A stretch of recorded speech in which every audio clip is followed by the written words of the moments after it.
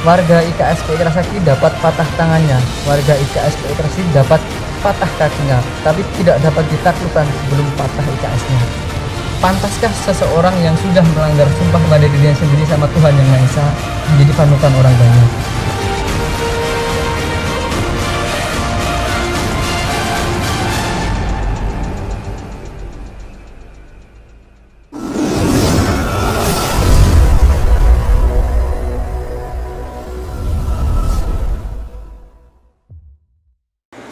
Oke, so welcome back to my channel. Jumpa lagi dengan saya Mbah Pati. Salam Jinsu dan salam pencak silat untuk semua pesilat Indonesia. Oke, jadi terima kasih untuk teman-teman yang telah mengklik video ini. Hari ini kita akan ada satu video klarifikasi ya tentang video-video aku yang kemarin uh, yang saya bahas tentang beberapa perguruan.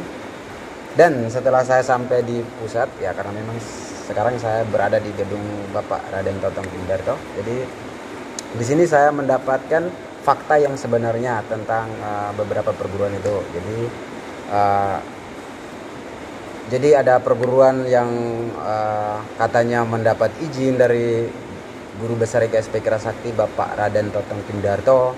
Ada yang bilang uh, pecahan dari IKSP Kerasakti juga dan mungkin dengan alasan yang lainnya uh, mungkin akan kita klarifikasi di video ini karena itu fakta yang sebenarnya. Dan di sini saya sudah bersama uh, saudara kita.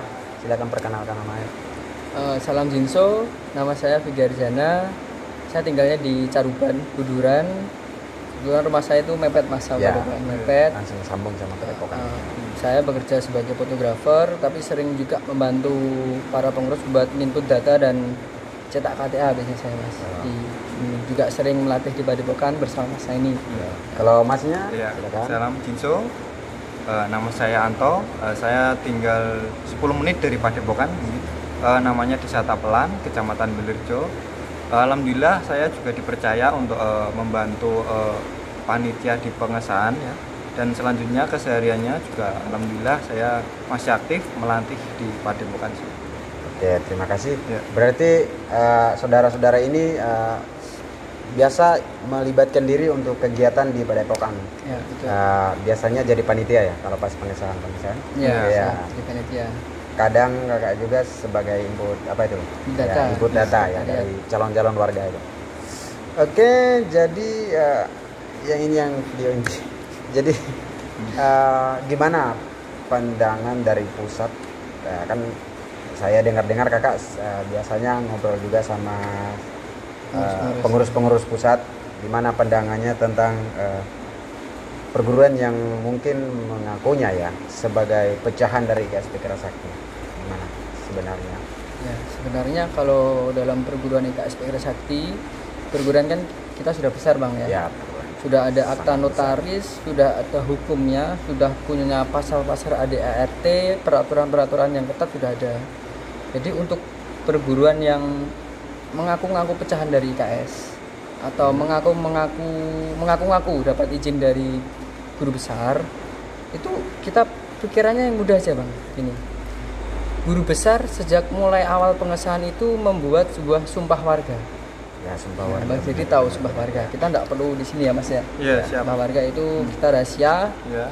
tapi di dalam satu poin sumpah warga itu ada yang uh, intinya begini.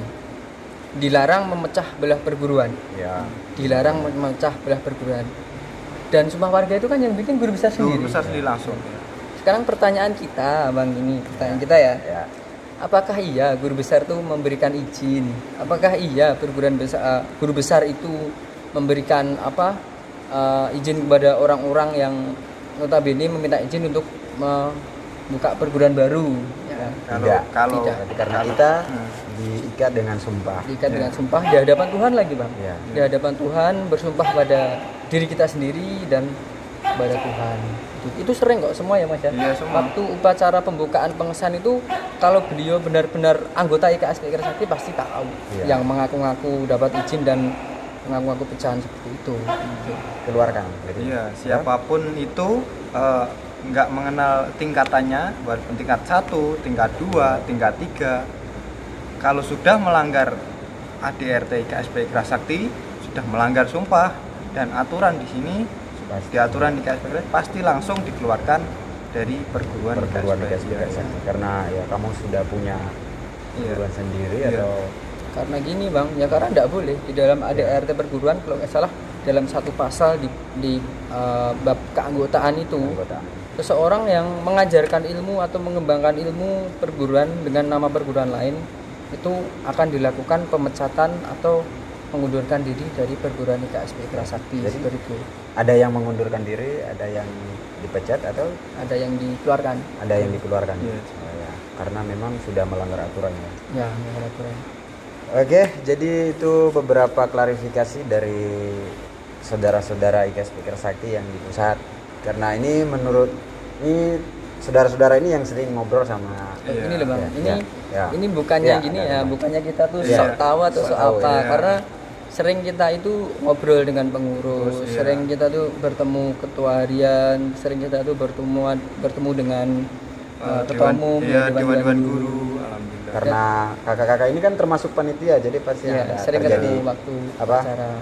Ya saling bahas yeah. karena mungkin kemarin ada video saya beberapa video yang iya itu agak yeah. sedikit uh, ini kontroversial mas kontroversial ya tapi yeah. sebenarnya gini mas kalau abang bilang tadi ada yang mengundurkan diri dan dan apa namanya mendirikan perguruan yeah, lain yeah. Nah, itu kalau bagi perguruan ya ini menurut saya menurut yeah. saya menurut pengalaman saya berbicara dengan pengurus-pengurus pusat jadi pengurus pusat maksudnya jadi sudah tidak ada sangkut pautnya dengan IKSP Ikra Sakti sebetulnya.